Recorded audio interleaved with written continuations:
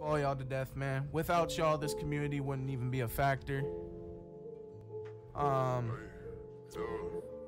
when RB World 4 drops, this game obviously will be gone, but it'll forever live within our hearts because this game holds a lot. You know, this game created a lot of futures for us, you know what I'm saying? And I just want to say thank y'all, you know what I'm saying? I just want to thank I just want to say thank y'all, bro. Y'all are great people. Y'all are great. And um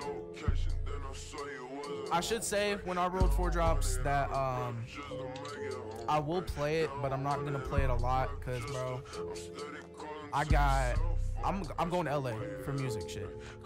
Yeah, that's how that's how serious the music shit is. I'm going to LA. So, you know what I'm saying? Be proud of your boy. But hey, I love y'all. And I love this right here. This is beautiful. You know what I'm saying? This is beautiful right here.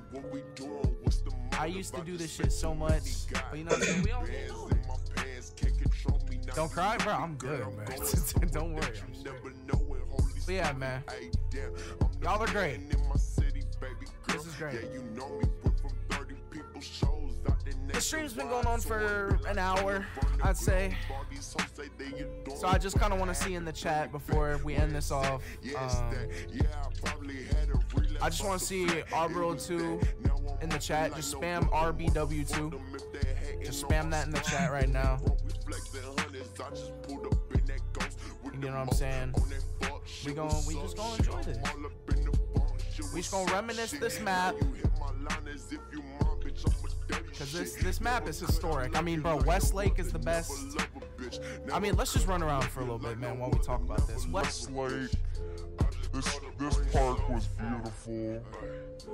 One of the most unique parks we've seen in, in basketball on the Roblox scene.